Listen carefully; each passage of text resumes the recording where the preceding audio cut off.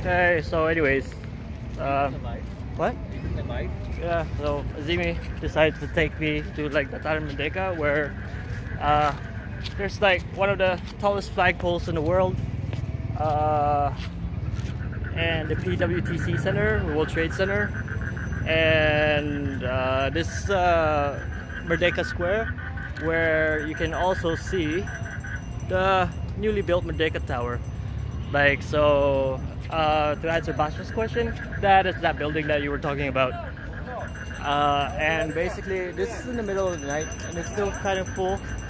So it's fun and um, I don't know why but like everybody's like actually sorry I'm reacting to people like telling me to like get scooters and um, there's a minion. Ta-da. Uh, yeah